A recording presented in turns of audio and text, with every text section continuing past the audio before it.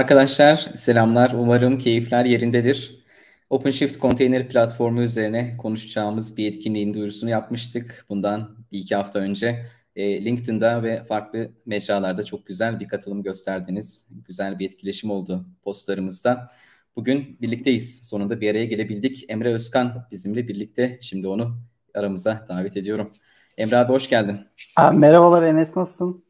Abi çok teşekkürler. Davetimizi kabul ettiğin için çok teşekkür ediyorum. Ben teşekkür ederim. Benim için bir onur. Zaten sizlerle yani çok, çok çaba sarf ediyorsunuz. Çok aktifsiniz görüyorum. Ben de hani bu e, etkinliklere katılmak, katkıda bulunmak istedim. Ee, çok teşekkürler. Sağ olun. Abi çok teşekkürler. Şimdi arkadaşlarımız yavaş yavaş geliyor. Arkadaşlar YouTube'da ve LinkedIn'de ve Twitch'teyiz. İstediğiniz yerden bize yorum atabilirsiniz, soru sorabilirsiniz canlı yayın esnasında da. Emre abi nasılsın, neler yapıyorsun? Reddit'teki görevin nedir, sorumlulukları nedir? İstersen seni tanıyalım. Tabii, e, başlayayım. Reddit'te yaklaşık Aralık'ta 3 sene olacak. E, burada pre-sales ekibinde görev alıyorum ben. E, satış öncesi ekipte. E, burada daha çok OpenShift ağırlıklı, Real tarafındaki projelerde görev alıyorum. E, burada daha öncesinde müşteri tarafındaydım. Hani yaklaşık 8-9 senelik bir geçmiş de var. Tabii ki hep müşteri tarafındaydım. Burada ilk defa bir e, 3 senelik bir vendor tecrübem var. E, burada daha çok dediğim gibi POC'ler olsun, e, satış toplantıları olsun. E, daha çok genelde e, o tarz e, iş akışları e, gerçekleştiriyorum. E, burada dediğim gibi şey tarafı biraz daha hani OpenShift ağırlıklı olmak üzere Sadece hani Red Hat tarafında sadece OpenShift yok biliyorsunuz. Daha çok e, diğer e, Red Hat Enterprise Linux olsun, onların yönetim araçları olsun. İşte bir de Container Security tarafı da yine aynı şekilde e, yakın zamanda ilgilendiğim konular arasında. E, genel olarak bu konular arasında böyle e, uğraştığım e, oluyor gün içinde. Abi ağzına sağlık süpersin. Bu arada selamlar gelmiş arkadaşlarımızdan. Samet selam göndermiş. Mehmet burada selam göndermiş. LinkedIn'dan Adem selam göndermiş. Arkadaşlar hepiniz hoş geldiniz. Evet abi istersen bir slide hazırladın sanırım. Onu Tabii aynen. Ee, bugün e, bir sunum yapacağım. Sonrasında da e, OpenShift tarafında birkaç arayüz gösterimi, işte birkaç demo yapmaya çalışacağım. E, sorularınız olursa lütfen hani e, beni kesebilirsiniz ya da e, sen yönetebilirsin tabii ki onu. Tamamdır. E, sorularınızı yöneltebilirsiniz. E, sıkıldığınız nokta olabilir. E, hızlı geçelim istediğiniz nokta olabilir. Lütfen hani e, şey yapabilirsiniz. E, tamam. E, katkıda bulunabilirsiniz. Şöyle ben ekranımı paylaşacağım. Bugün e, nasıl bir içerik hazırladım? Aslında ilk etapta e, biliyorsunuz birçok distro var. Kubernetes hayatımızın bir parçası, konteynerler hayatımızın bir parçası. OpenShift bu tarafta hani e, pastanın neresinde e, diğerlerinden farkı ne biraz daha onlardan biraz bahsetmeye çalışacağım. E, zaten hepiniz artık e, kurumlarda konteyner dediğimiz yapıları e, işte Docker'la beraber öğrendik. E, işte Docker Swarm girdi hayatımıza. Sonra Kubernetes dediğimiz yap- yapılar girdi. Bunlarla e, işte yeni mikroservis mimarileri yazıyoruz. Bunları konteynerlara dönüştürüyoruz. Konteynerler içerisinde çalıştırıyoruz. Derken hayatımız bir anda virtual sanal makine e, terimlerini konuşurken bir anda konteyner dediğimiz yapıları e, konuşuyor hale geldik. Şimdi Tabii bir tane konteyner vesaire bunlarla uğraşmak tabii ki e, kolay. İşte bir konteyneri e, down olduğunda bunu ayağa kaldırmak kolay ama yüzlerce parçaya dönüştüğünde e, bunların hangisi down olmuş vesaire bunları ta- takip etmek aslında çok zorlaşmaya başlıyor. İşte bugün sanal makineler için kullandığımız işte loglamadır, monitoring'tir birçok ihtiyaç da bu dünyaya getirmek gerekiyor. Burada e, biliyorsunuz hani sizler de zaten birçok event yaptınız. Hani burada konteyner nedir vesaire açıklamayacağım ama Kubernetes nedir vesaire açıklamayacağım ama e, burada bir konteyner yani Google yaklaşık 10 sene olmuştur sanıyorum. Burada bir e, platformu açık kaynak komiteye bağışlamış durumda. Tabii e, Kubernetes ile beraber e, burada birçok konu adreslenmiş durumda. Birçok konu açıkta kalmış durumda. Bunları da biraz daha değineceğim. Şimdi Kubernetes hayatımıza girdikten sonra tabii ki neler e, çözülmeye başladı. İşte e, ben bugün bir tane konteyneri scale kolayca edebiliyorum. Bunları life cycle'larını yönetebiliyorum. Yani bir konteyner down olduğunda Kubernetes onu benim yerime ayağa kaldırabiliyor. Ee, onun dışında bunların monitoringidir vesairedir onları yine yapabiliyorum. Security tarafları işte arkasına bir storage bağlama vesaire bunları e, yapabiliyor konumdayım. Şimdi ama bu dünya biraz daha e, karmaşıklaşmaya başladı tabii Kubernetes beraber. Bu bir CNCF kataloğu yani hepinizin zaten bir şekilde görmüş olabileceğiniz ya da yeni arkadaşlar varsa da e, ilk defa görmüş olduğu bir katalog. Burada görüyorsunuz birçok kategoride birçok ürün var. E, açık kaynak komünite tarafından geliştiriliyor bazıları. Bazıları firmaların destek sunduğu ürünler. Kubernetes sadece burada orkestrasyon kısmında bir tane ürün. Burada her bir kont şey her bir kutucuktan bir tane ürünü alıp siz burada bir e, çözüm üretmeniz lazım. Yani nedir? Bir CI/CD yapıyorsunuz bugün e, yapınızda. CI/CD üzerinden bir tane ürünü Kubernetes'e entegre etmeniz lazım. İşte bugün bir runtime seçmeniz gerekiyor vesaire. Burada bir karmaşık bir durum söz konusu baktığınızda. Yani daha doğrusu işin içine girdiğinizde. Burada tabii e, bugün gün birde ben bir e, kullanıcıyım ve Kubernetes hayatımın e, ortasına konumlandırmak istiyorum ama burada düşünmeniz gereken daha önce de açıkladığım birçok konu var. Bunlardan bir tanesi işletim sistemi. Yani burada e, direkt olarak alt tarafına, Kubernetes'in alt tarafına hangi işletim sistemini kullanacaksınız? Burada e, işte herkes CentOS kullanabilir, Ubuntu kullanabilir, Red Hat Enterprise Linux kullanabilir. Birçok distro var bildiğiniz gibi. Bunu kurduktan sonra bir runtime seçmeniz gerekiyor. Burada da yine birçok karmaşık e, birçok ürün var. İşte Creo, Docker zaten hepimizin bildiği bir runtime ama burada biliyorsunuz 1.25 ile beraber depreciate oluyor şey tarafında, Kubernetes tarafında. O yüzden bir runtime buraya e, adapte etmeniz gerekiyor. Onun dışında imajlarınızı oluşturuyorsunuz. İşte bir mikroservis e, mimarisine göre yazdığınız imajlarınız var. Bunları nerede saklayacaksınız? E, bir software defined networking yaratmalısınız ki podlarınız, içeride oluşan servisler hepsi birbiriyle bu SDN network üzerinden konuşmalı ama burada da yine farklı alternatifler var işte OpenShift, SDN, OVN, Kubernetes, Calico gibi birçok e, yine SDN çözüm var. Yine bir tanesini seçmeniz gerekiyor. E, bunu da seçtiniz diyelim. Bu uygulamayı dışarı nasıl açacaksınız? İşte e, bir node port mu kullanacaksınız? E, load balance tipinde mi açacaksınız? Gibi yine birçok düşünmeniz gereken ya da bir HA proxy ya da bir load balance mı koyacaksınız? Yani yine e, düşünmeniz gereken aslında log management, DNS tarafı, load balance derken iş çok çok daha karmaşıklaşıyor. Yani production'da e, güzel bir sistem inşa etmeniz için hepsini teker teker düşünmeniz gerekiyor. Burada yapılan bir araştırma e, yaklaşık katılımcıların %75'i burada e, yaşadıkları işte karmaşıklık, sorunlar ya da bunların data operasyonları yüzünden aslında bu tarz bir dönüşüme, cloud native modeli geliştirmeye yönelik işlerini biraz daha öteliyor ya da blokluyor. Bunlar nedir işte? Hani işte bunların işletim sistemlerini data operasyonları olsun, platformu upgrade edeceksiniz ya da biraz önce saydığım bütün komponentleri update edeceksiniz. E, gün iki operasyonlarını yapacaksınız. Bu da gerçekten önemli bir araştırma olduğu için genelde e, ben e, yaptığım toplantılarda vesaire e, ya da katıldığım sohbetlerde e, söylemeye çalışıyorum. E, burada aslında Red Hat ne yapıyor? OpenShift Container platformla beraber buradaki her bir ürünü entegre etmiş, e, buradaki karmaşıklığı azaltmış şekilde tamamen sizin production'da kullanabileceğiniz şekilde bir ürün sunuyor. Buradaki en önemli nokta aslında Kubernetes ilk community'ye devredildikten sonra Red e, burada direkt olarak gün birden itibaren contributor seviyesinde hatta bugün e, Google'dan sonra da ikinci konumda yer alıyor. Bu ne, ne demek aslında? Bunun önemi e, şu e, ürünün nereye gideceğini vesaire e, çok pardon şurada e, aynen ürünün nereye gideceğini vesaire e, yön veren bir firma konumunda yer alıyor. Çok özür dilerim. Tamam.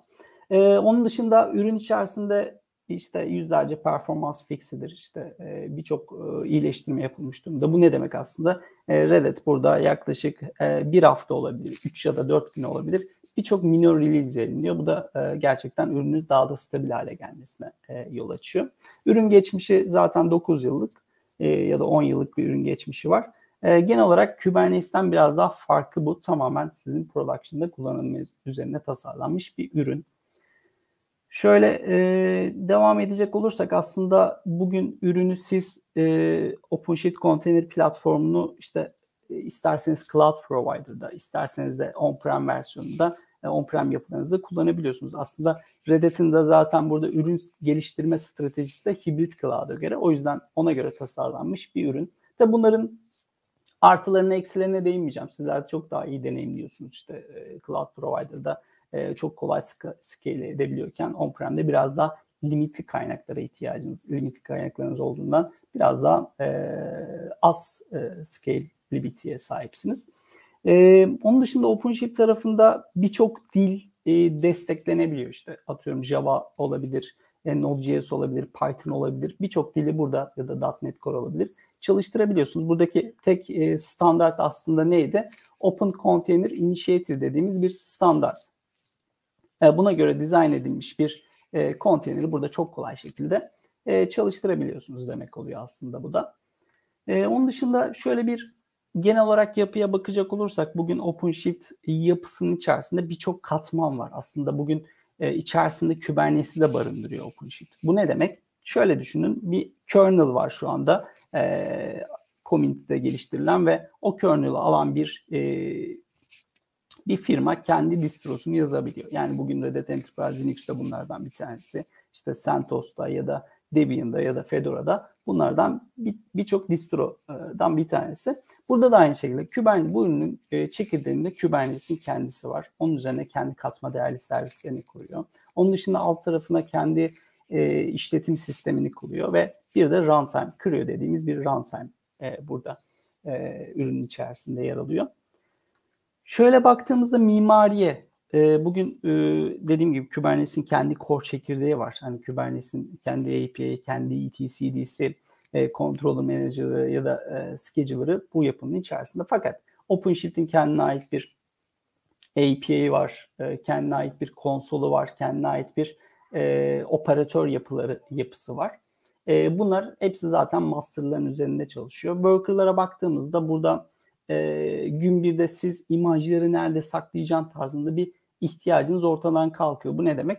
E, direkt olarak bir gömülü register geliyor. Onun dışında e, bir Prometheus Grafana Alert Manager yani direkt olarak dashboard'tan siz e, bir podun metriklerini ya da bir etcd'nin utilizasyonunu görebiliyorsunuz gün birde. Onun dışında e, bir Kibana Elasticsearch Fluentd e, yapısı yine geliyor. Bu da ne demek oluyor? Kibana üzerinden siz artık e, geçmişe dönük e, loglarınızda e, görsel bir şekilde kullanabiliyorsunuz. İçeride bir e, SDN yapısını da sunuyor. Bu OpenShift SDN ya da OVN Kubernetes olabilir. Ya da farklı dediğim gibi yapıları da burada kullanabiliyorsunuz. E, en önemli nokta burada bir HA proxy yapısı geliyor gömülü. E, bu ne demek aslında? Uygulamanızı çok kolay şekilde siz dışarıya açabiliyorsunuz demek herhangi bir node port'tur vesairedir uğraşmıyorsunuz. Yani sen ben bugün bir HTTP uygulaması deploy ettiğimde e, benim daha önceden yarattığım bir wildcard DNS sayesinde bir e, DNS oluşturuluyor otomatik olarak. Burada e, 80 ya da 443 üzerinden erişebiliyorsunuz. Tabi burada farklı yöntemler de var. MetalLB gibi e, yapıları da yine burada operatörlerle beraber kullanabiliyorsunuz. Genel olarak mimari bu şekilde. Ee, Ürün aslında bir tek bir stack diye düşünebilirsiniz. Yani işletim sistemi de üzerindeki platformda bütün komponentlerde aslında tek bir stack. E, yani tek bir noktada kuruluyor. Yani bugün siz e, ürünü kurmak istediğinizde ya da denemek istediğinizde OpenShift install dediğimiz bir binary indirerek create cluster diyorsunuz. İşte bu adam size AWS'de mi kuracaksınız, e, on-prem'de mi kuracaksınız, bare metal'de mi kuracaksınız? Ona göre ilgili parametreler alarak tamamen e, otomatik bir şekilde bu ürünü ve komponentlerini kuruyor. Buradaki en önemli noktalardan bir tanesi aslında bugün e, container security ile ilgileniyorsanız aslında Kubernetes'in yayınlamış olduğu bir e, 80'e 180'de sanırım bir e, Kubernetes security raporu var. Bu raporda eğer siz bir container e, yapısı mimarisi kullanacaksanız şey tarafından hani kurumunuzda ona göre bir işletim sistemi, daha minimal, konteynerlara göre optimize edilmiş bir işletim sistemi kullanmanız gerektiği yönünde bir öneri var. Bu öneriye göre dizayn edilmiş bir ürün aslında e, alttaki işletim sisteminde. Red Hat Enterprise Linux'un daha minimal bir versiyonu read-only bir işletim sistemi. Yani siz e, direkt olarak gidip manuel e, ya da bazı müdahaleler yapamıyorsunuz. Onun yerine e, platform içerisinde e, machine config dediğimiz yapılar var. Bugün ben işte atıyorum bir e, kübelet ayarı yapmak isteyebilirim ya da örneğin e, kroni ayarı yapmak isteyebilirim. Burada machine config yazdığınızda direkt olarak merkezden tamamen otomatize şekilde burada platform içerisindeki nodlara e, bunlar e, kolay otomatize bir şekilde e, geçiliyor. İçeride bir runtime var demiştim. ismi Creo demiştim. E, bu tamamen işte Kubernetes'e göre optimize edilmiş, daha minimal, e, daha güvenli e, bir architecture'a göre dizayn edilmiş bir ürün. Burada tabii ki e, Docker'ı tercih etmemesinin nedenlerinden aslında bir tanesi de e, daha lightweight olması ve daha e, mikroservis mimarisine göre yazılmış olan bir runtime aslında bu. E, dolayısıyla OCI compliant herhangi bir imajı burada çalıştırabiliyorsunuz. Onun dışında e, işte farklı işte API demiştim tamamen otomatik bir kurulum ya da bazı özelliklerini customize edebileceğiniz e, bir kurulum yöntemi daha var. Ona göre hangi e, nerelerde destekleniyor aslında e, onları biraz daha vurgulayan bir e, konu. Yani işte bugün on-prem şeyde Bare Metal'den tutun AWS, Azure, VMware gibi birçok noktada e, bu ürünü deneyimleyebiliyorsunuz. Tabii burada e, cloud provider noktasında da işte ben bunu yönetilebilir hizmet olarak da almak istiyorum. Dediğiniz noktada e, tabii bu tarz işte AWS'te e, Rosa, e, Azure'da Arroy'du sanırım. O tarz e, isimlendirmeli e, nokta şeyler, servislerde sunuluyor.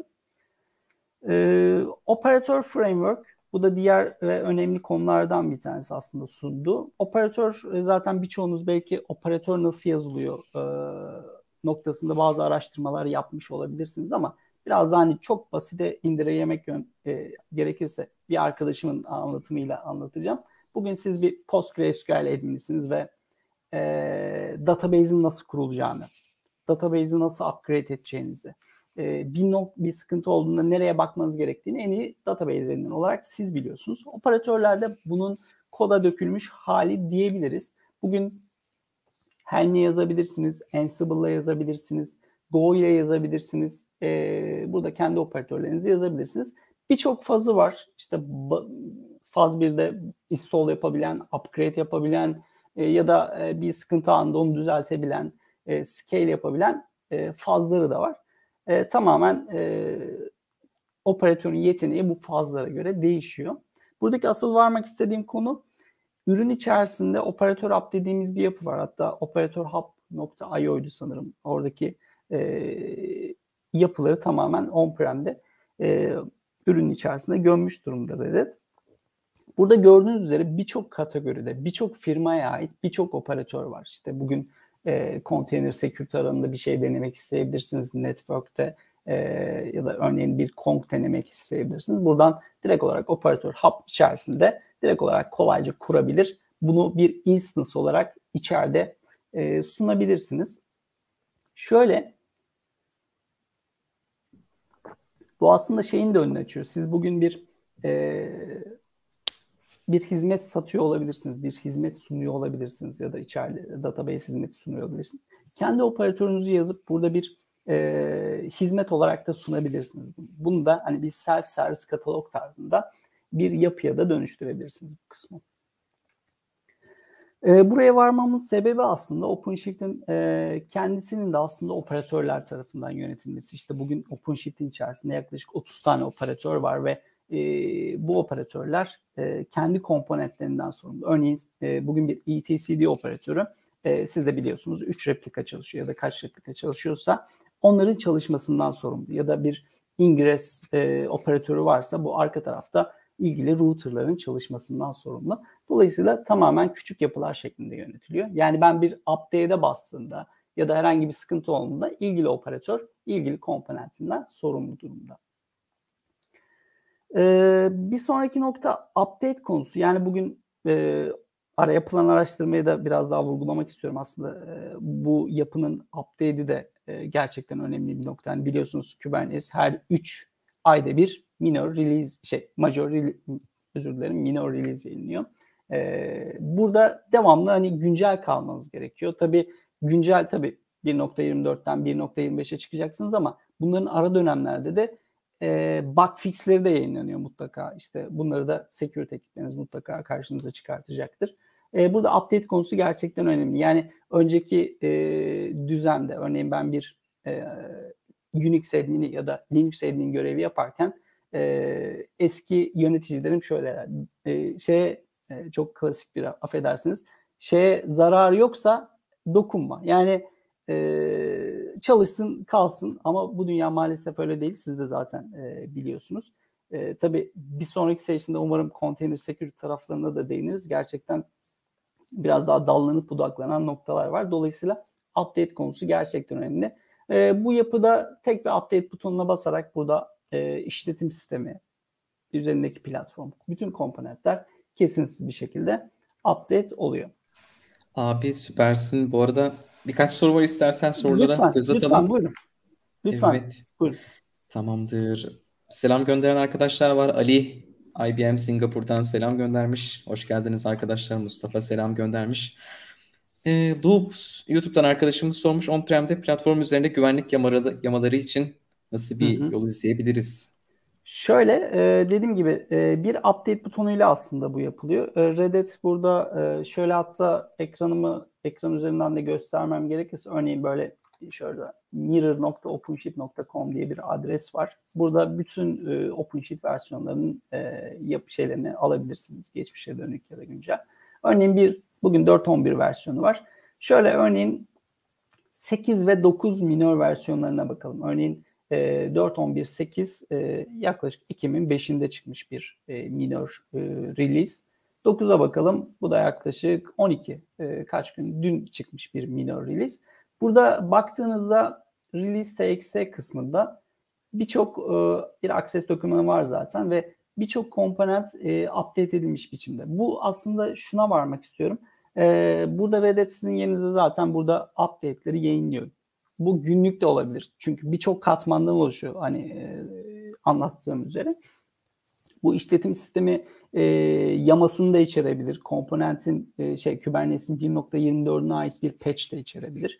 Tamamen tek yapmanız gereken update butonuna basmak. Tabi burada on-prem'den kastınız aslında hani disconnected bir ortam olabilir belki. Ee, burada da tabii farklı çözümler var. Bir imaj registri yapılandırıyorsunuz. Oraya bütün imajları çekiyorsunuz.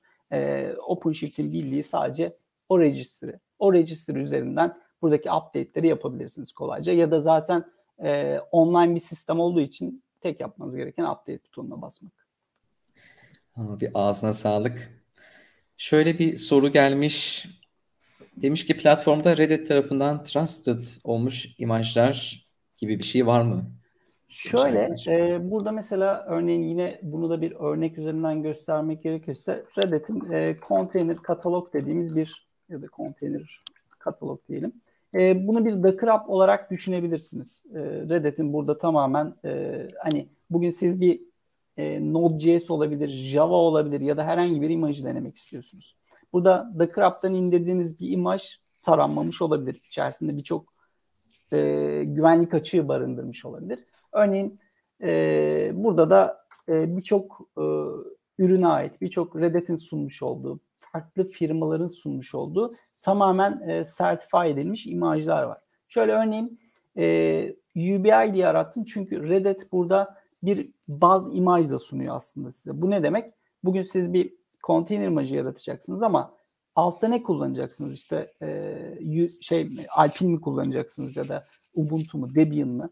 E, bunları tabii belli dönemlerde upgrade etmeniz gerekiyor baz imajları içerisinde çıkan açıklarda vesaire. Burada Reddit bir baz imaj sunuyor. Burayı neden gösterdim? Bu baz imajlar devamlı olarak güncelleniyor. Burada bir e, şurada bir health index göreceksiniz.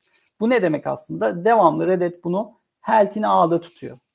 E, burada farklı önceki taglara bakarsınız. Örneğin şöyle 4 ay önce ya da 5 ay önce. Şu gördüğünüz gibi içerisinde health'i D ve içerisinde 2 tane ya da 3 tane ya da kaç tane ise bu tarz şeyler var.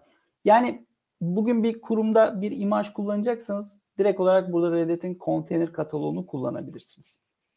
Burada birçok e, şeye ait firmaya ya da Reddit'in sunduğu trusted e, şeyler var.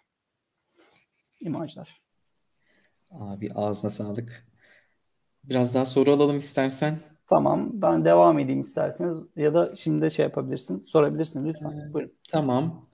Ali sormuş. Demiş ki Red Hat Enterprise Linux üzerinde Docker ile containerized olarak çalışan on-prem uygulamaya OpenShift'in ne tür katkıları olur? Deployment'lar otomatize edilebilir mi? Demiş. Ee, şöyle e, birazdan geleceğim zaten göstermeye çalışacağım onu. E, RHEL üzerinde Docker ile containerize etmiş. Burada öncelikle Docker yerine Red Hat'te Podman dediğimiz bir yapı var. Bilmiyorum duydunuz mu? Podman tamamen Docker'a alternatif olarak geliştirilmiş bir e, kendi bilgisayarlarınızda kullanabileceğiniz bir e, runtime. Burada e, containerlarınızı da yani atıyorum bugün Docker'da ne yapıyorsun? E, Docker build yapıyorsun ya da Docker run diyorsun. Burada da Podman build, Podman run'la burada kolayca e, bir konteyner ve root hakkı gerektirmeden bir konteyner çalıştırabilirsin. Şimdi burada OpenShift'in ne gibi bir katkısı var? Yani şey tarafında tabii sen on-prem'de geliştirmiş olduğun, kendi bilgisayarında geliştirmiş olduğun bir imajı e, ilk önce bir registry'e atmanız gerekiyor. Hani bu im- imaj registry üzerinden OpenShift üzerinde direkt olarak e, pull ettirip çektirebilirsiniz. tabii çok özür dilerim. Bunu kolayca scale edebilirsiniz. Bunların terminaline erişiyor olabilirsiniz. Bunların monitoringini, loggingini kolay şekilde yapıyor olabilirsiniz. Aslında birçok yönden e, katkısı var ve hatta örneğin bir Docker container haline de getirmenize gerek yok. E, OpenShift tarafında source to image dediğimiz bir özellik var. Onun da demosunu göstermeye çalışacağım uygulamalı olarak. Örneğin e, siz bir developer'sınız ve kodunuz Git üzerinde tutuluyor değil mi? E, commit ediyorsunuz ve düzenli olarak onu işte e, bir Docker file oluşturuyorsunuz, bir build işlemine geçiriyorsunuz. Fakat burada SourceUI teknolojisiyle bunu yapmanıza gerek yok. Ya siz ne zaman e, commit'e basarsanız OpenShift bunu direkt olarak bir webhook yardımıyla e, çekip e, bir konteyner haline getirebiliyor. Bu gerçekten güzel bir özellik. Yani aradaki containerize işlemler için uğraşmanıza gerek yok. Birazdan göstereceğim onu e, session sonuna doğru. Abi tamamdır. İstersen devam edelim soruları tamam. biriktirebiliriz. Arkadaşlar tamam. bu arada soru sormayı unutmayın. Teşekkür ediyoruz katılan herkese. Tamamdır. Teşekkürler. Ben devam edeyim. Ee, burada içeriye gömülmüş bir e, grafana e, yapısı da var. Yani direkt olarak ayrı bir komponentin içerisine girip e, ilgili uygulamamın, ilgili konteynerimin metriği ne durumda buna yani ayrıca bir yere bakmanıza gerek yok. Direkt olarak e, arayüzlerinden görebilirsiniz. Bu işte etcd metriği olabilir dediğim gibi nodun utilizasyonu olabilir. Ne kadar e, memory, ne kadar CPU utilizasyonu var bunları e, direkt olarak görebilirsiniz. Logging e, yapısı bir operatörle e, kuruluyor. Yani bir Elasticsearch Fluentd ve Kibana hatta en son e, 4.11 ile beraber burada Fluentd de e, Loki ile beraber hani opsiyonlu olarak sunulmuş durumda. Hani buradaki yapıda e, direkt olarak kendiniz de değiştirebiliyorsunuz. E, hani Loki'nin biraz daha popüler olmasından dolayı e, operatörle kuruluyor. Bir Elasticsearch yapısıyla beraber geliyor dediğim gibi.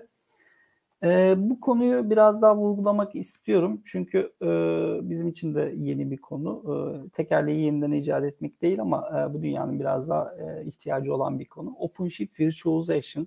E, bugün e, siz OpenShift'i bare metal'e kurduğunuz senaryoda e, OpenShift arayüzü içerisinde podlarla sanal makineleri yan yana çalıştırabiliyorsunuz. Bu ne demek? İşte aynı servis mesh yapısına e, sokabilirsiniz, kolayca scale edebilirsiniz işte bugün config map dediğimiz yapılar var, script dediğimiz yapılar var. Burada VM'ler için bunu e, kullanabiliyorsunuz ve dediğim gibi tek bir noktadan e, yönetebiliyorsunuz. Burada e, ürünün aslında geliştirilmiş olma amacı şu. E, bugün zaten herkesin bir dönüşüm, e, bütün kurumlar, bütün kullanıcılar bir dönüşüm aşamasında. Ama örneğin şöyle baktığınızda e, bugün konteyner kullanım oranı %20'lerde. Yani bu bir süre daha e, VM'lerle beraber hayatımıza devam ediyor demek oluyor aslında. E, Red Hat'in burada e, geliştirme amacı OpenShift Virtualization'ı bu dönem boyunca ben neden tek bir platform kullanmıyorum? Yani tek bir platform üzerinden ve bunu Kubernetes'e bunu yönettirmiyorum gibi bir vizyonla çıkmış bir ürün. Alt tarafında Kubir dediğimiz bir açık kaynak. Red Hat'in drive ettiği bir e, yapıyı kullanıyor. E, işte bugün e, sanallaştırma platformlarında yaptığınız işte e, klonlama olsun, e, Lean Migration olsun, konsoluna erişmek olsun gibi bütün e, yapıları burada kullanabiliyorsunuz. Çalışma biraz da şeyine e, bakacak olursak aslında bugün bir e, KVM üzerine e, düşünelim. Bir sanal makine açtığınızda e, aslında Kemu KVM diye bir proses ayağa kalkıyor. E, Red burada yaptığı şey aslında o prosesi izole edip konteyner içerisinde çalıştırmak. Dolayısıyla ve bunu da Kubernetes'e yönettirmek tabii ki. Dolayısıyla bugün siz bir VM objesi kaldırdığınızda bunun arka tarafta bir konteyner karşılığı oluyor. Genel olarak yapı, e, çalışma yapısı e, bu şekilde bunu da göstermeye çalışacağım OpenShift içerisinde. Single node OpenShift bu da e, işte atıyorum uç noktalarda benim e, kaynaklarım sıkıntılı olabilir. Daha az kaynak e, şeyim durumum olabilir. Onun için geliştirilmiş ya da edge edge noktalar bugün telkoda çok daha sık kullandığımız işte ya da üretim ortamında uç noktalardaki fabrikalar için düşünebildiğimiz e, bir konu olabilir bu. Uç noktalarda örneğin ben bir sanallaştırma hostu kullanıyorsam buraya OpenShift'te direkt olarak bir not olarak tek bir not olarak e, koyabilir durumdayım ve bunu da merkezi olarak yönetebiliyorum. Developer tarafındaki servislere bakalım biraz da çok e, hızlı isterseniz. Bugün e, OpenShift içerisinde bir admin ekranının dışında tamamen developerlara yönelik e, sunulmuş bir e, developer konsol var. Bu konsol üzerinden siz uygulamalarınızın işte e, root adreslerine erişebilir, servislerinize bakabilirsiniz, metriklerine bakabilirsiniz, scale edebilirsiniz, bir build işlemi başlatabilirsiniz. Bütün tamamen hani developerlara yönelik tasarlanmış bir e, arayüz. Bunu da göstereceğim zaten. Ee, Birçok e, hatta bir, bir önceki arkadaşımın da sorusuydu. Hani e, OpenShift tarafına kolayca e, uygulamayı deploy edebilirsiniz. İsterseniz external ya da internal bir register olabilir. E, seçip e, imaj halini, imajı direkt olarak run edebilirsiniz. E, diğer bir noktada e, burada source imaj sadece git adresini verdikten sonra e, burada direkt olarak bir builder imajıyla yani örneğin bir e, kodunuz var. Verdiğinizde adam zaten onu otomatik olarak e, hangi dilde yazılmış olduğunu e, buluyor. Örneğin bir Node.js e, direkt olarak onunla bir build işlemine sokuyor. Ee, onun dışında Service Mesh bu da hepimizin zaten çokça sık karşılaştığımız işte Istio'yu, Kiali'yi e, son zamanda e, herkes e, duyuyor, belki uğraşıyor. E, Reddit bunu e, paketlemiş ve bir Service Mesh dediğimiz bir yapı şeklinde sunuyor. Ürünün içerisinde çıkıyor. İşte bugün e, Graphan'dır, Prometheus'udur, Jaeger'ıdır. Bunları tamamen e, bu paketin içerisinde, e, bu ürün içerisinde sunabiliyorsunuz. Bu sayede hani e, bunun çıkma amacını biraz daha açıklayayım. Bugün hani e, bir monolit uygulama düşünün ve tek bir noktadan e, internete çıkıyor. E, dolayısıyla onu adreslemek çok kolay. Network tarafındaki e, izini bulmak çok kolay.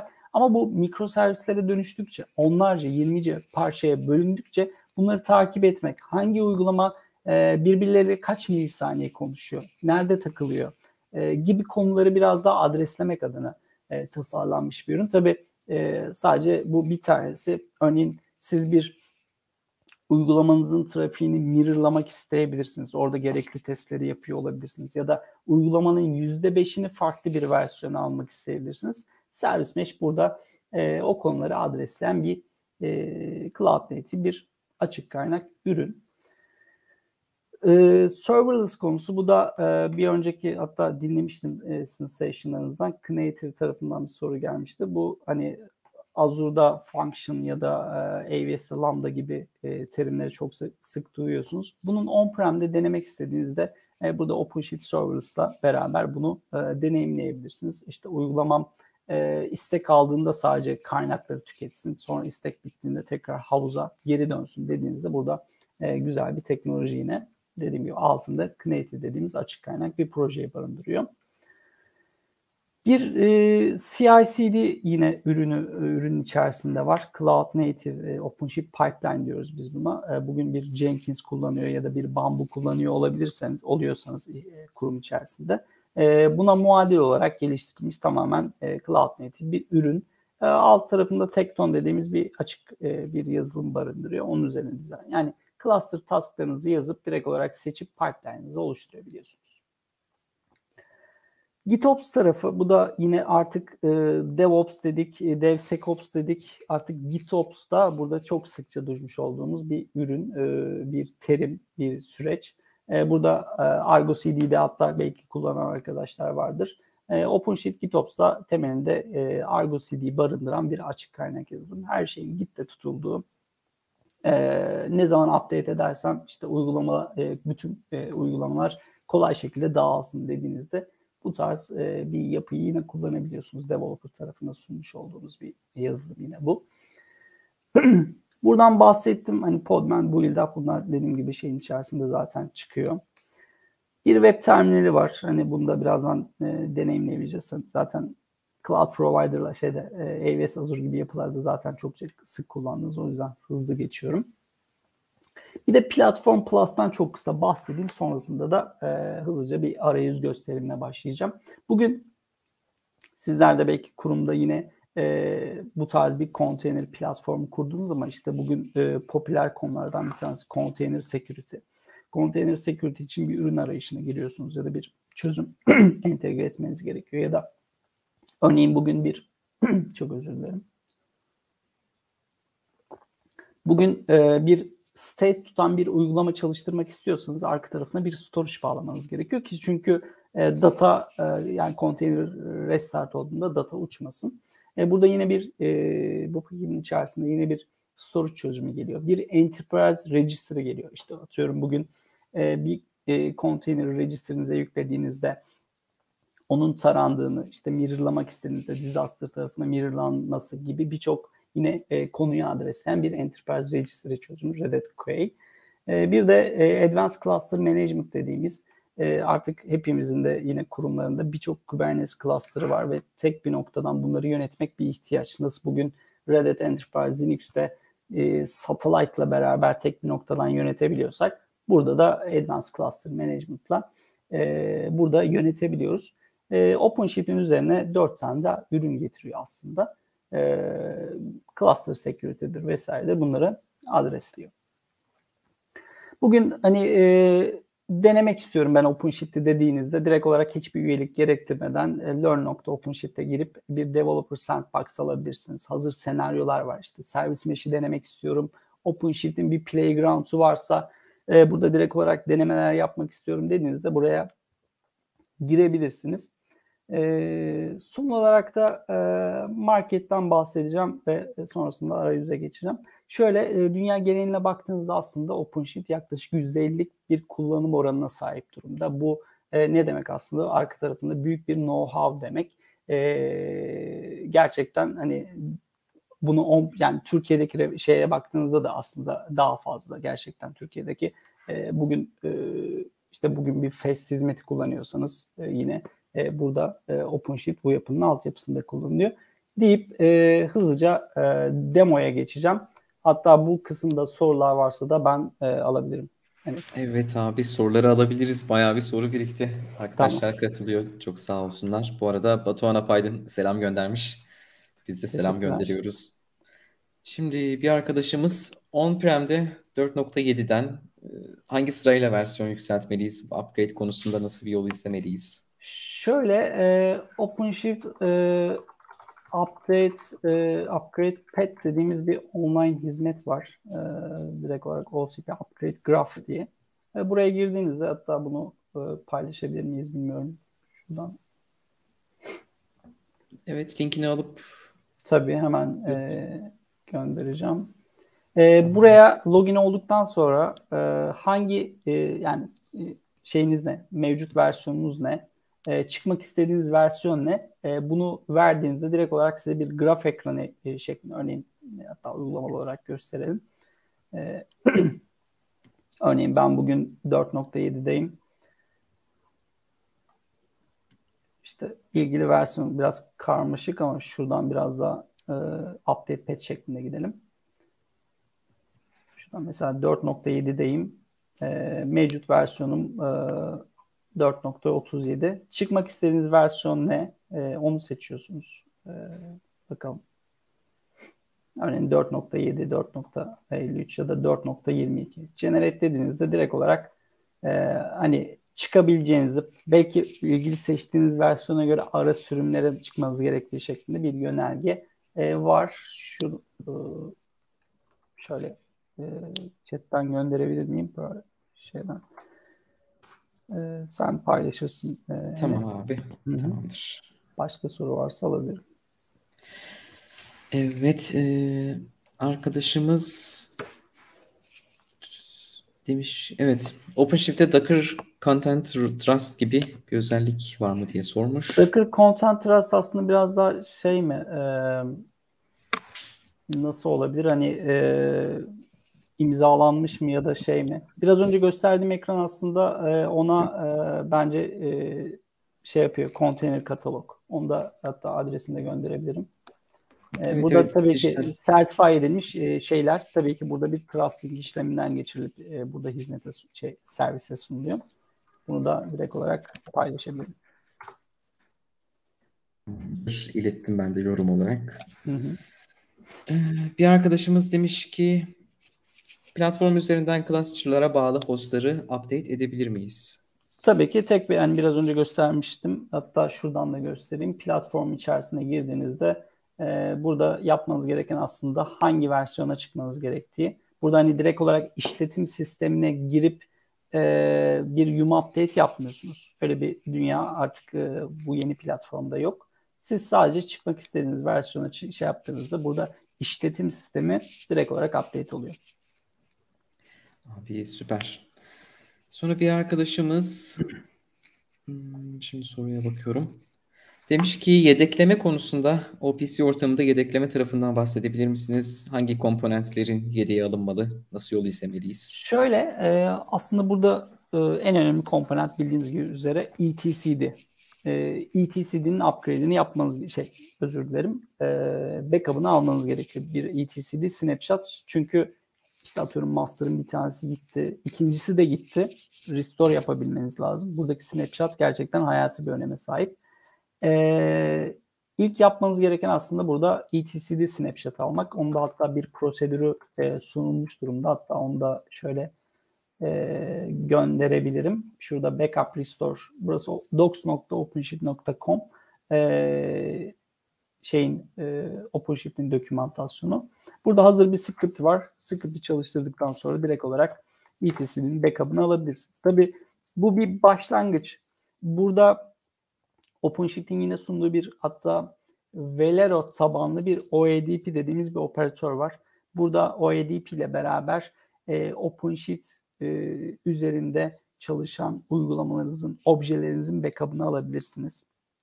Onun dışında tabii birçok özel firmaya ait işte bugün geleneksel anlamda ne kullanıyorsunuz? Bir Veeam kullanıyorsunuz, NetBackup kullanıyorsunuz, Commvault kullanıyorsunuz. Bunlar da aslında yeni dünyaya kendini uyarlamış durumda. E, bu e, ürünleri de kullanarak burada bütün platformda e, şey alabilirsiniz, backup alabilirsiniz.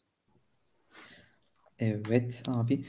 Yani Caner sormuş network konusunda nasıl bir yapı var demiş. Network konusunda içeride bir OpenShift SDN yapısı var. Ee, ama dediğim gibi bu e, direkt olarak default geliyor ama siz burada OVN Kubernetes e, yapısında kullanabilirsiniz. Hatta işte dediğim gibi Calico gibi e, burada certify edilmiş bazı SDN yapıları da var.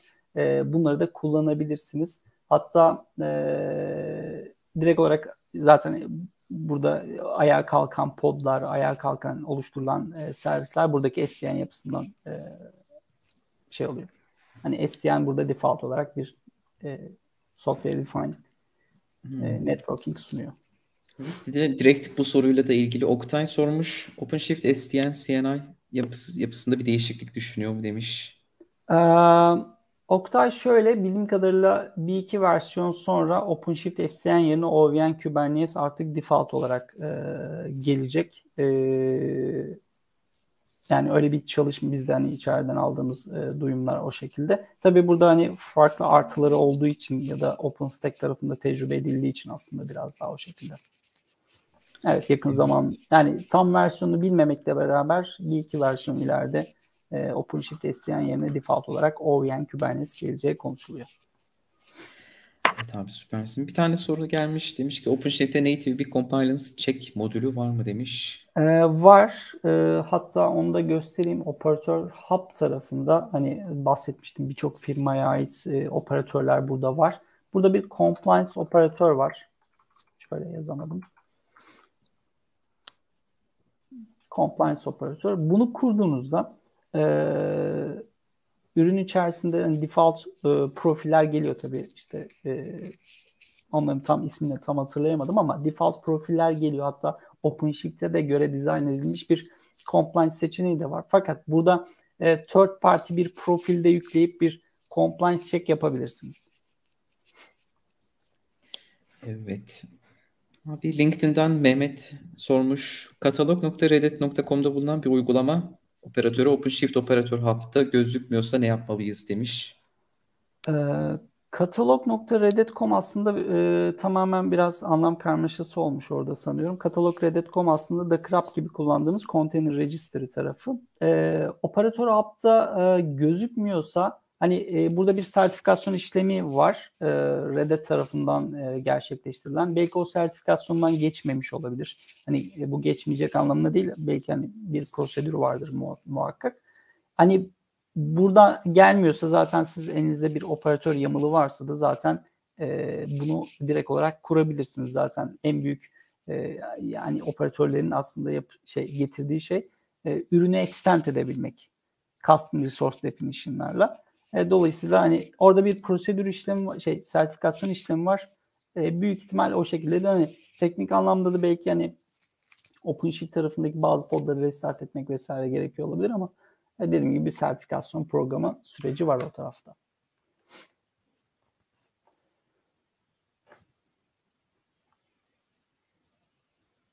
Tamam abi. İstersen demoya geçebiliriz. Tamam. Ee, şöyle başlayalım. Aslında bir e, dediğim gibi plat şey ürüne girdiğinizde aslında bir admin ekranı karşılıyor. Burada tabii seçebiliyorsunuz. Developer ekranına da geçiş yapabilirsiniz. Bir adminseniz e, burada direkt bir envanteri görebileceğiniz işte hangi provider'da yaptığınız, hangi versiyonunu kullandığınız ya da genel olarak ürünün e, durumunu görebileceğiniz bazı e, dashboardlar e, sunuluyor. İşte utilizasyon nedir? Bir activity e, tabında işte ne kadar e, yani neler konteyner ayağa kalkmış mı vesaire onları görebileceğiniz bir yapı. Ee, sonra hani operatör tarafından, app tarafından devam edeyim. Biraz sonra, biraz önce gösterdim ama dediğim gibi farklı kategorilerde burada e, operatörler bulunuyor. Örneğin e, şöyle bir tanesine tıkladığınızda e, capability level kısmına baktığınızda örneğin bu operatör e, iki tane faza sahip. Sadece install ve upgrade yapabiliyor. Büyük ihtimal her ne yazılmış olabilir. Ama mesela şöyle Crunch mıydı? E, PostgreSQL diyelim. Crunch, PostgreSQL, e, Crunch firmasının yazmış olduğu bir operatör. E, gördüğünüz gibi e, capability level 5 fazına sahip. 5 tane birden fazla sahip. Install yapabiliyor. Hani e, buradan direkt olarak install edip tabi burada ürünlerin e, hani farklı ürün farklı firmalara ait ürünleri de dediğim gibi görebilirsiniz. Marketplace dediğimiz yapılar var. Direkt olarak Reddit Marketplace'e girip bu firmadan e, bu ürünü satın alabiliyorsunuz. Hani e, ya da community versiyonlarını kullanabiliyorsunuz ya da sertify edilmiş versiyonları kullanabiliyorsunuz. Operatör app gerçekten hani e, kolayca kullanılabilen e, gerçekten e, güzel bir e, şey hizmet. E, onun dışında burada e, şeyden e, devam etmek istiyorum. Bugün e, şey tarafı, storage tarafı da gerçekten önemli bir konu. Hani bugün e, ihtiyacınızı biraz daha hani yolun başında netleştirmeniz gerekiyor. Çünkü e, uygulamanız örneğin e, yani state tutacaksa bir uygulama e, bunun arkasında bir e, storage bağlamanız gerekiyor. Burada farklı storage çözümleri var tabii ki. İşte bugün bir NFS kullanabilirsiniz. Nodlarınızın üzerindeki bir e, data alanını kullanıyor olabilirsiniz ya da farklı e, storage çözümleri burada kullanıyor olabilirsiniz. Örneğin burada e, ben demo için mesela e, ODF dediğimiz OpenShift Data Foundation dediğimiz bir ürün daha e, kurdum burada. E, ürün zaten mesela örneğin bu e, yapı AWS üzerinde e, ayağa kaldırıldığı için e, bir blok hizmeti otomatik olarak tanımlanıyor. Blok ya da file nedir onlardan biraz bahsedelim. Bugün siz bir pod çalıştıracaksınız ve bir pod sadece bir tane diske okuma yazma yapacak. Bunun için sadece blok tipinde e, bir storage işinizi görecektir ama burada örneğin 3 tane podum var ve 3 e, tane podum e, tek bir diske yaz yani 3 replika çalışan bir uygulamanız var ve bunu bu arka tarafta bir storage'e ihtiyacı var. Burada bir file tipinde bir storage'e ihtiyacınız var. Onun için de hani farklı soruş tiplerini burada e, implemente etmeniz gerekiyor. Burada tabii ki kendi e, kurumunuzda kullandığınız bir kutuyu da buraya implemente edebilirsiniz. Yani onun hangi tip storage'ı sunduğu, file mi sunuyor, blok mu sunuyor, object mi sunuyor? Burada direkt olarak e, CSI driver varsa direkt olarak implemente edebilirsiniz. E, burada hani e, hem FS hem de RBD ya da e, NOBA dediğimiz e, şey object e, hizmeti sunan e, bir e, yapıyı da ben burada entegre etmiştim. Burada tabi e, burada ilgili disk alanını kolayca e, isteyebiliyorsunuz. Örneğin e, 1 gigalık bir diske ihtiyacınız var ya da kaç gigalık. Direkt olarak create bastığınızda ilgili storage'dan e, bu disk alanı sizin yerinize tanımlanıyor. Burada e, bir bucket da ihtiyacınız olabilir. E, örneğin yine test diyelim ve bir bucket yaratalım. Burada direkt olarak o bucket'a erişmeniz gereken bir access key, secret key burada kolay şekilde yaratabiliyorsunuz. burada e, bir uygulama deploy edelim şöyle birlikte. Developer ekranına geliyorum. Developer ekranında e, burada yeni bir proje yaratalım dilerseniz. Şöyle create diyorum. Evet, örneğin test diye bir e, proje yaratalım. Burada farklı şekilde uygulamalar e, alabilirsiniz demiştim. Örneğin bir e, yani burada katalog bir katalog üzerinden e, seçip de ilerleyebilirsiniz. Bir .NET uygulaması, bir Node.js uygulaması da seçebilirsiniz. Ama ben e, bu yapıda mesela bir container imajı e, deploy edeceğim. Nerede? Burada herhangi bir Docker app kullanabilirsiniz. Herhangi bir register'dan burada e, bir imaj indirebilirsiniz. Tabii ki burada örneğin bir e, Red Hat'in trust ettiği bazı register'ler var default'ta. E, bunları e, dışında ise örneğin The Crab e, untrusted bir şey ilk default'ta gelen. E, bunun için bir trusting işlemi yapmanız gerekiyor. Tabii ki onun sonrasında The Crab'dan ya da internal herhangi bir register'inizden bu e, JFrog olabilir ya da herhangi bir farklı şey register olabilir. E, buradan imajınızı deploy edebilirsiniz. Örneğin benim şu an Register Red Hat'da bir HTTP imajım var ve e, bunu direkt olarak e, gördüğünüz gibi valide etti. E, direkt olarak Create'e bastığınızda bu imajı çekecek ve ayağa kaldıracak. Sonrasına bakalım beraber. Burada bir topoloji ekranı var. Topoloji ekranı üzerinden konteynerlarınızı görebiliyorsunuz direkt olarak.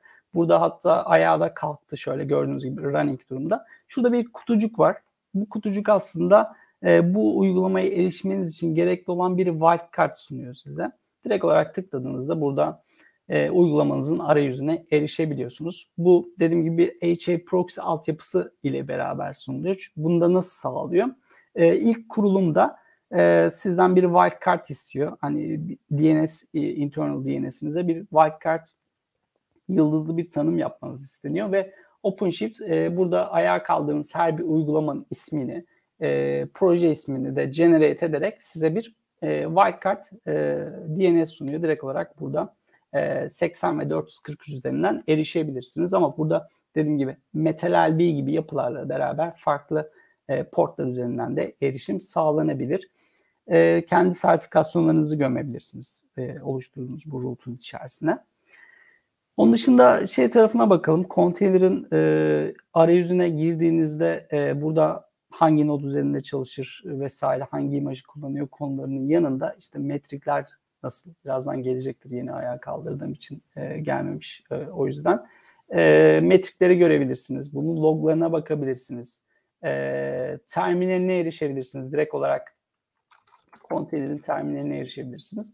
En güzel tarafı da burada log kısmında örneğin geçmişe yönelik logları da burada Kibana üzerinde e, görebilme e, şansınız var entegre edilmiş durumda.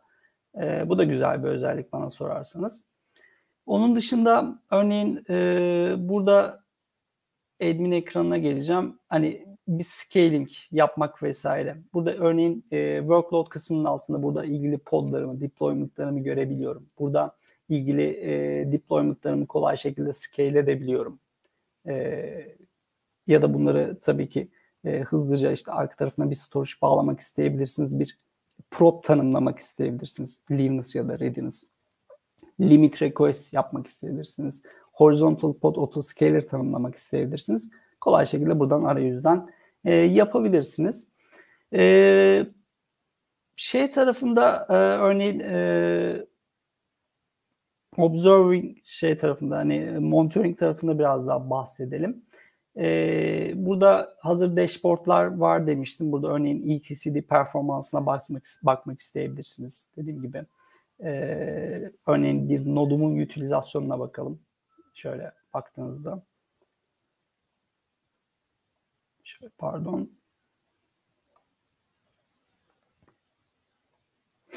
Hangi nodun ne kadar memory e, CPU tüketmiş bunları da e, geçmiş yönelik olarak hani 5 dakika olabilir, son bir saat olabilir. E, görebiliyorsunuz.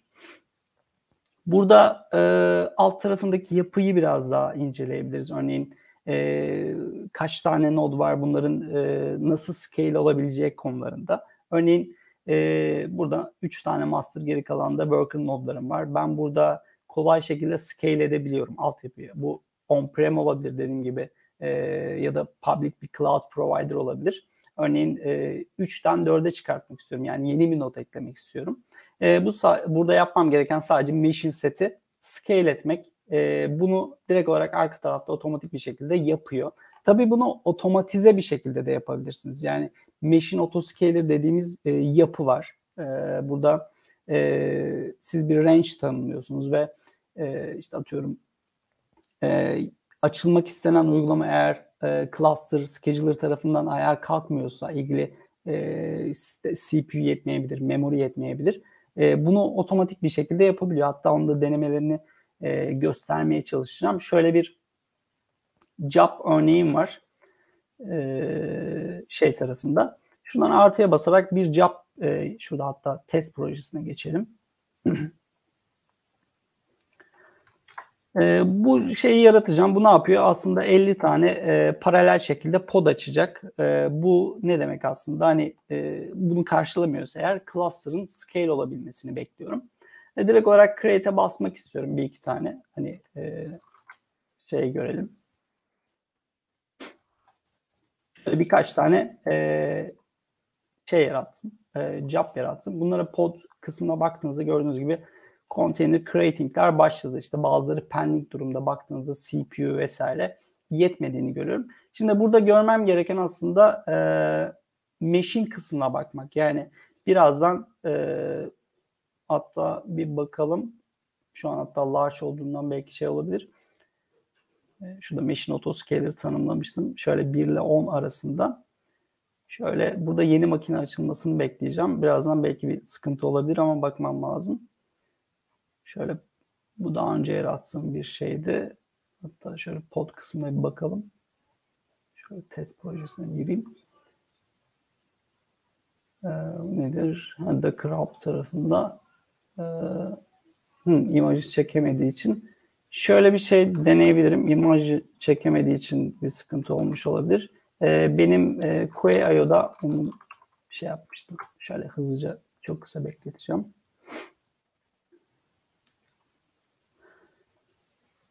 Şöyle bu izbox imajını bir e, değiştirmek istiyorum.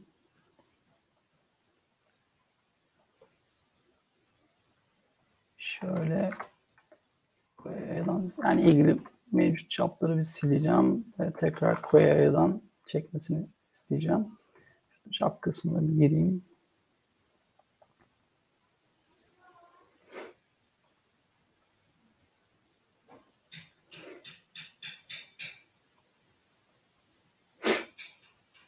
Podlarımın gitmesini bekliyorum.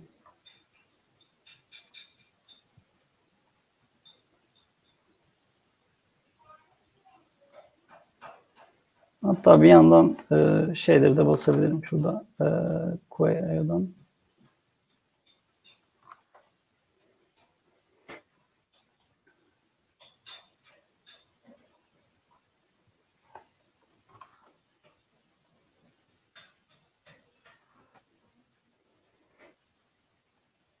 Şöyle joblarıma bakıyorum. Kodlarımın durumuna tekrar bir bakmak istiyorum. Burada pendikleri görmek amaçlı. Pendikleri görüyorum. Bir bakayım tekrar machine set kısmına. Gördüğünüz gibi e, 3-4'tü. 4'ten 6'ya çıkardı kendisi. Şurada machine kısmına baktığınızda otomatik olarak provizyonlanıyor. Yani burada e, işiniz bittikten sonra aslında e, olması gereken utilizasyon tekrar e, belirli noktaya geldiğinde tekrar onu scale edecek. Çünkü bir range tanımlanmış durumda. E, 1 ile 10 arasında. E, burada e, olması gereken range'e tekrar çekecek. Ama bu ne demek aslında? E, bugün bütün kurumlarda e, işte alışveriş zamanları e, biraz daha ismini unuttum özür dilerim. E, pik yapılan zamanlarda hani altyapının kolayca scale olabilmesi gerçekten önemli. Aslında bu dünyanın getirmiş olduğu e, en güzel taraflardan bir tanesi de bu. E, o yüzden hani bu tarz otoscaler'larla beraber e, bu tarz scale olabilmek gerçekten e, güzel. Şöyle e, şey tarafında cluster operatör tarafına bir bakalım. Hani şey tarafında e, yaklaşık 30 operatör olduğundan bahsetmiştim. E, burada da hani e, ETC'de altında çalışan 3 tane member'dan sorumlu dediğim gibi. E, tamamen siz bir update'e bastığınızda ya da bir ilgili config geçtiğinizde o operatör o yapının e, update olmasına ya da ilgili config'in geçilmesinden sorumlu. Ee, bir de şöyle developer ekranından bir de farklı bir uygulama e, deploy edelim. Şöyle test e, projesindeydim. Bunlar hatta işini tamamlamış. Ee, şöyle add kısmına bakıp e, import from git kısmını biraz daha denemek istiyorum. Burada tabii ki bir jar faili sürükleyerek de burada bir uygulama e, deploy edebilirsiniz. Ya da bir YAML'ınız varsa e, biraz önce artıya bastığım gibi bu uygulamanızda direkt deploy edebilirsiniz. Örneğin ben burada e, Git üzerinden bir e, Node.js e, kodum var ve bu Node.js kodunu direkt olarak GitHub adresini veriyorum. Gördüğünüz gibi bir, e, otomatik olarak bir Node.js e, olduğunu e, OpenShift anladı. E, direkt olarak şurada hatta farklı bir e, application diyelim. Ete bastığında e, burada direkt olarak kodu alıp bir build işlemi başlatmasını bekliyorum. Şöyle gördüğünüz gibi e, bir build otomatik olarak başladı. Loglarına da bakacağım birazdan. Şöyle hatta start olmuş mu? Panel'de. Ee, şeyde tetiklemiş olabilir. Şu anda nodlar e, geliyor. Hani şöyle bakalım compute tarafında ilgili machine'ler machine'leri de bekliyor olabilir. Şöyle workload şey tarafına bakalım. Gerçi pardon test tarafına bakalım şeyler var. Capları bir temizlemek istiyorum. Şey bekletmesin yani diğer yapmak istediğimiz e, build işlemini nodlar eklenene kadar.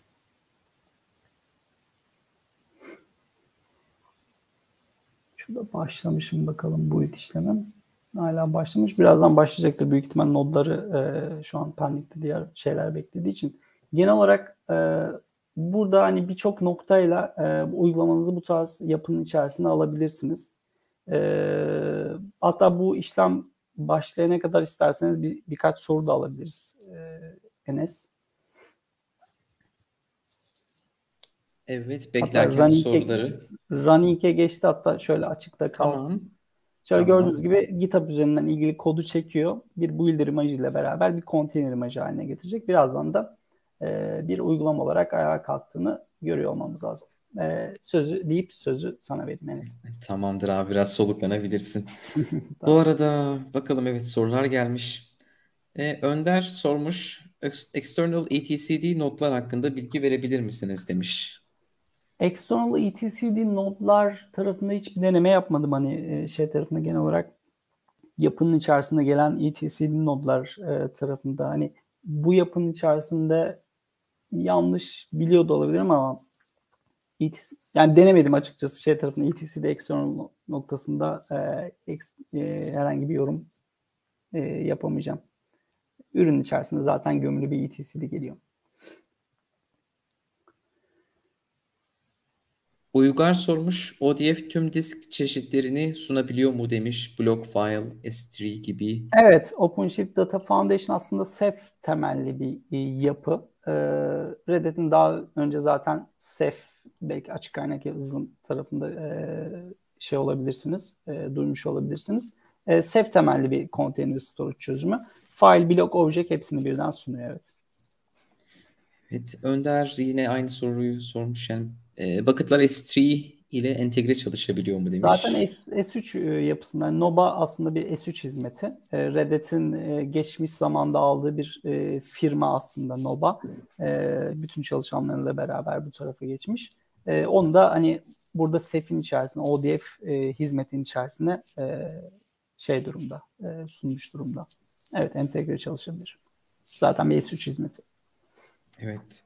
E, Önder demiş ki OpenShift mikroservisler arasındaki authentication, authorization işlemleri için ne tür kolaylıklar sağlıyor?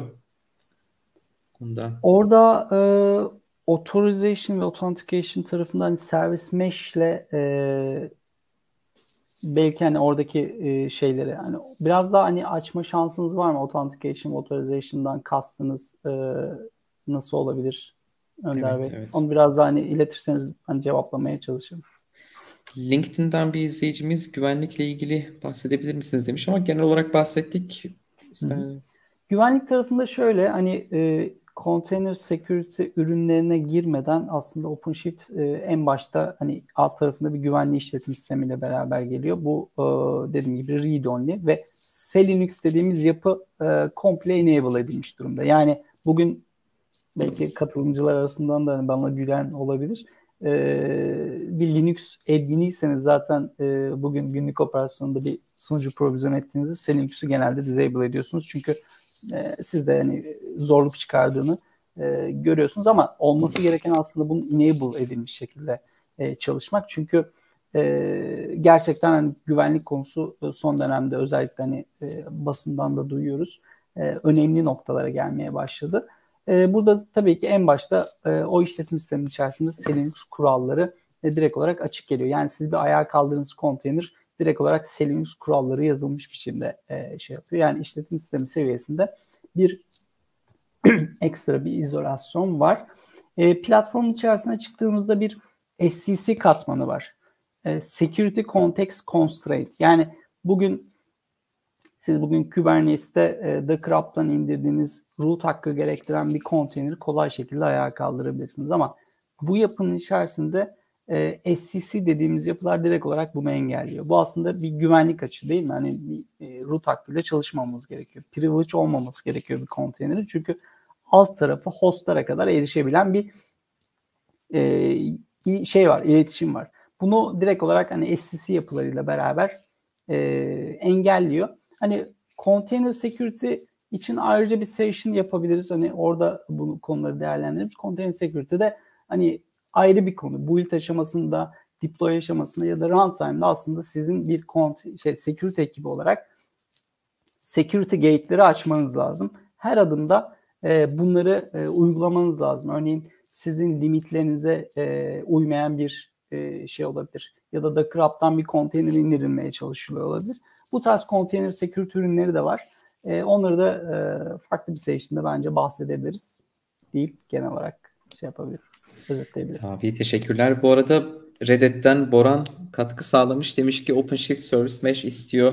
Old için bakabilirsiniz veya sidecar paternlerle kendi yöntemlerinizi geliştirebilirsiniz evet. demiş. Teşekkürler Boran.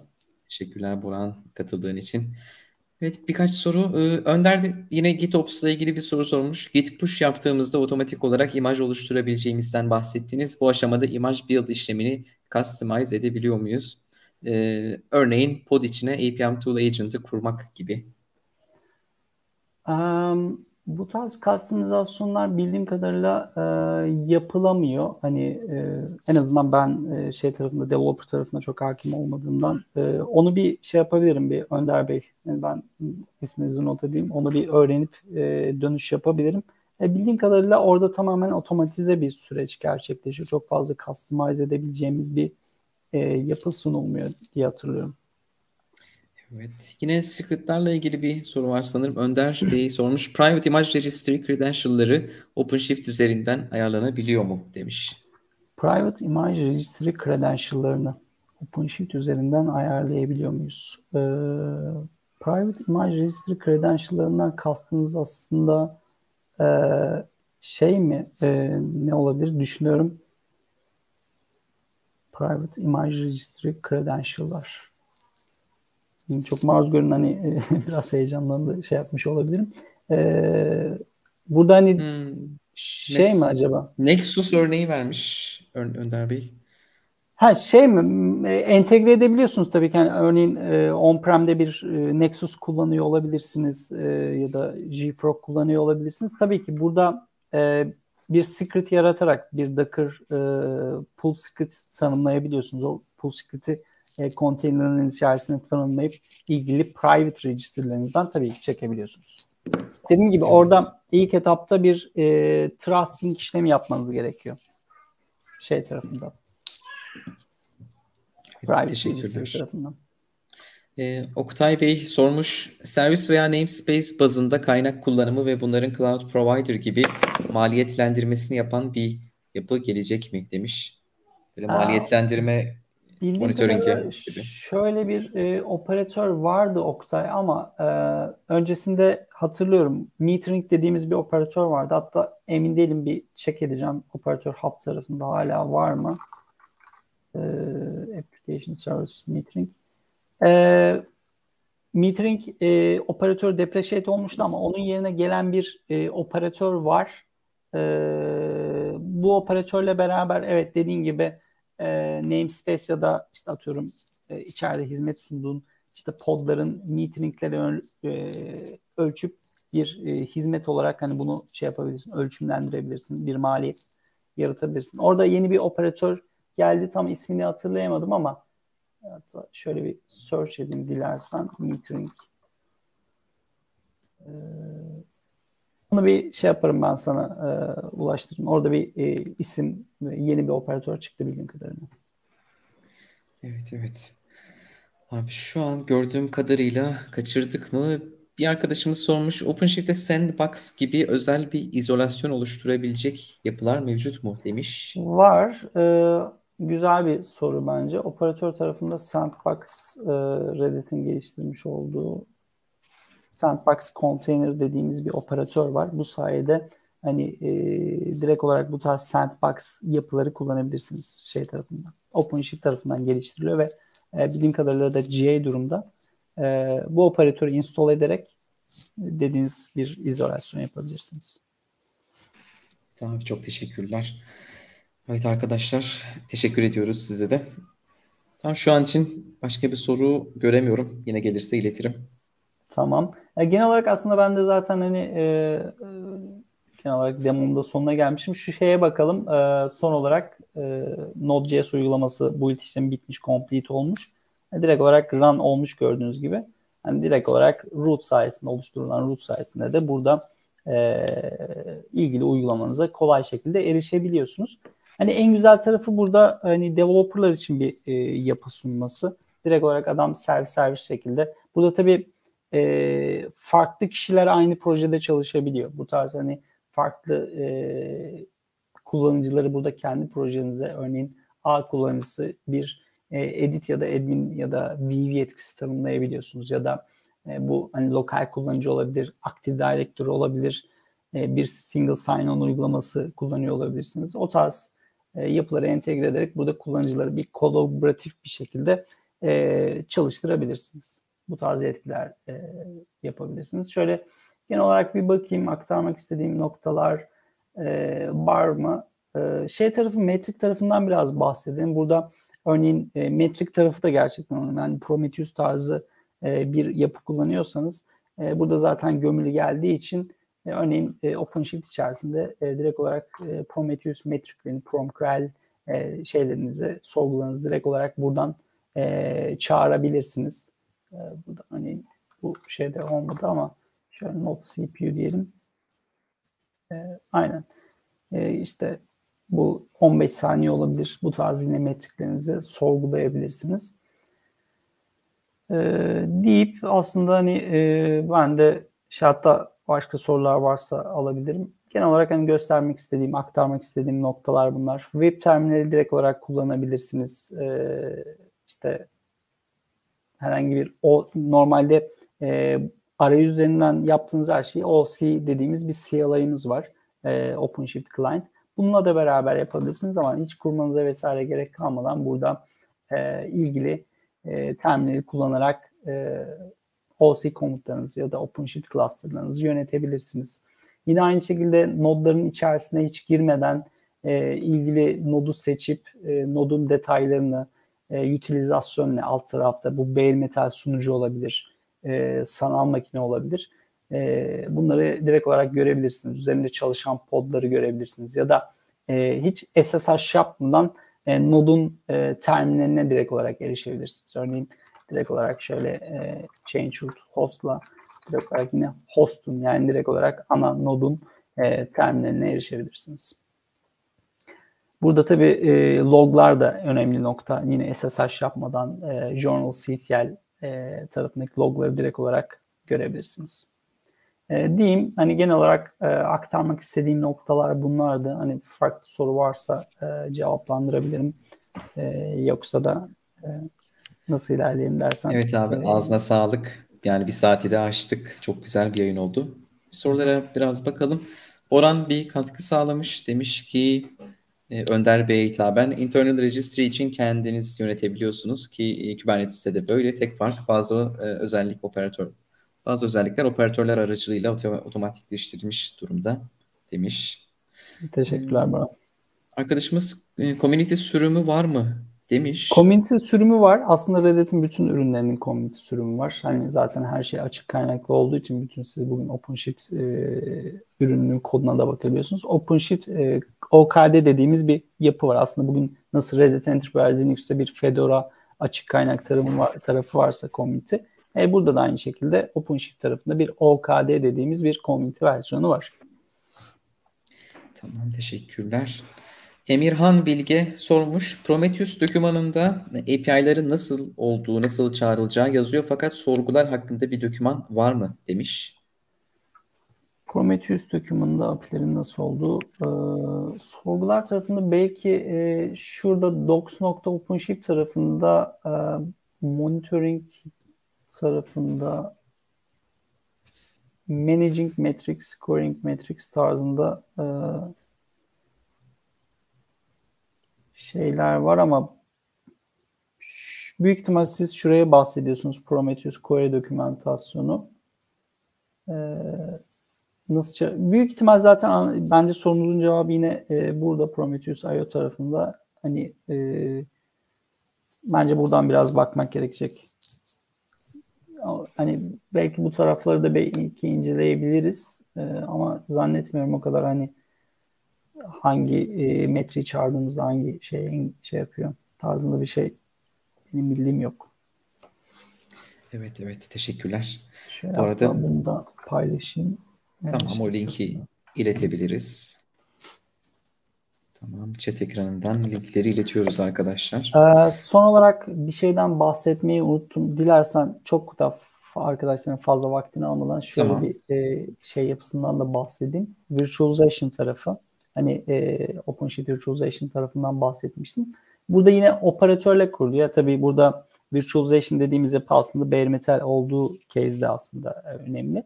Hani e, burada OpenShift Virtualization dediğimiz operatörle beraber e, burada bir sanallaştırma katmanı oluşturabiliyorsunuz OpenShift'in içerisinde. E, aslında yaptığı şey de yeni CRD'ler eklemek ve arayüzü extend etmek burada. E işte kaç VM çalışıyor, e, envanter tarafında kaç toplam işte utilizasyon nedir vesaire. Bunu e, görebiliyorum. Aslında e, dediğim gibi alt tarafında yine container dediğimiz yapı var. Bu sayede hani e, burada template'ler oluşturabilir. Bu template'lerden işte CentOS olabilir, Windows olabilir. E, sanal makinelerinizi yaratabilirsiniz. E, yarattığınız sanal makinelerin içerisine girip işte e, utilizasyon nedir, e, statüsü nedir, işte konsoluna erişmek isteyebilirsiniz. e, disklerini e, disklerini eklemek iste disk eklemek isteyebilirsiniz. Snapshot almak isteyebilirsiniz ya da örneğin e, live migration yani nottan noda e, live migration yapmak isteyebilirsiniz ya da şöyle bir soru aklınıza gelebilir. Örneğin ben kurumumda e, yüzlerce VLAN kullanıyorum. E, yüzlerce VLAN yani bu, bu tarz VLAN'ları kullanabiliyor musunuz? E, kullanabiliyoruz evet bu yapının içerisinde. Hatta hiçbir e, normal public network'e de ihtiyaç duymadan içeride o SDN yapısı içerisinde de konuşturabiliyoruz. Bu da çok önemli. E, isterseniz hem e, SDN network'ünden hem de burada e, public network VLAN yüzden bir IP'yi burada direkt olarak atayabilirsiniz sunucunuza. Deyip e, burada e, Enes tekrar söz bırakalım. Sana hani aktarmak istediğim öyle aklıma geldi. Onu da son olarak söylemek istedim. Abi ağzına sağlık. Çok teşekkür ediyoruz. Arkadaşlarımız da teşekkür mesajlarını iletiyorlar. Ben Emirhan teşekkür, teşekkür etmiş. Şakir teşekkür etmiş. Sunumu paylaşabilir misiniz demiş. Ee, sunumu tabii ki paylaşabilirim ama nasıl iletebilirim sana? Sen bana ee, şey e, YouTube yayınının altına yorum olarak bırakabiliriz. Sabitleriz. Herkes erişebilir tamam. istersen. Tamam onu ben sana ileteyim. Sen ondan sonrasında e, Sen bana orada aynen. videonun bir videonun altından şey yapabilirsin. Tamamdır. Bir drive linkiyle erişebiliriz. Evet Furkan teşekkür etmiş. Şakir dediğimiz gibi. Ee, bir arkadaşımız karşılaştırma sormuş ama e, Tanzu'dan farklı olarak artısı nedir demiş. Şey en büyük artısı zaten hani bilmiyorum hani kullanmış olabilirsiniz. E, developer tarafındaki özellikler hani otomatize e, yapısı e, olsun. Onun sonrasında zaten en büyük artılarından bir tanesi e, Reddit'in e, bu dünyadaki contribution'ı. Yani Kubernetes dünyasındaki e, yapısı. E, yani biraz daha fazla rekabete girmeden hani üstü kapalı olarak e, söyleyebilirim. Evet, arkadaşlarımız teşekkür ediyor. Ali teşekkür etti. IBM'den arkadaşlarımız teşekkür ediyorlar. Evet Gültekin teşekkür ediyor. Boran sana da teşekkürler katkıların için. Teşekkürler. Hiç bizi yalnız ee, bırakmadın. Mehmet Ali tanışma fırsatı olur inşallah. Ee, kendisiyle tanışmamıştım. Evet evet mutlaka Boran abiyle de bir yayın yapmak isteriz. evet Mehmet Ali teşekkür etmiş, Burak teşekkür etmiş, Adem bizimleydi. Teşekkür etmiş arkadaşlar hepinize teşekkürler. Güzel bir etkinlik yaptık, uygulamalı olarak gerçekleştirdik. E, abi bu arada Emre abi senden de önümüzdeki dönemde bir yayın sözü almak isteriz. Tabii ki tabii ki. Yani şey tarafında özellikle container security tarafında Batuhan'la da konuşmuştuk biz. Tek e, o konuyu da biraz böyle detaylı irdelemek e, bildiklerimi evet, en azından evet. paylaşmak isterim. Tamamdır. Çok teşekkür ediyoruz. Evet. Bize katıldığınız için en yayın takip eden arkadaşlarımıza da çok, çok teşekkürler. Emre abi senin de ağzına sağlık. Teşekkürler. Herkes, çok sağ olun arkadaşlar. Herkese iyi akşamlar diliyoruz arkadaşlar. Görüşmek üzere. İyi akşamlar.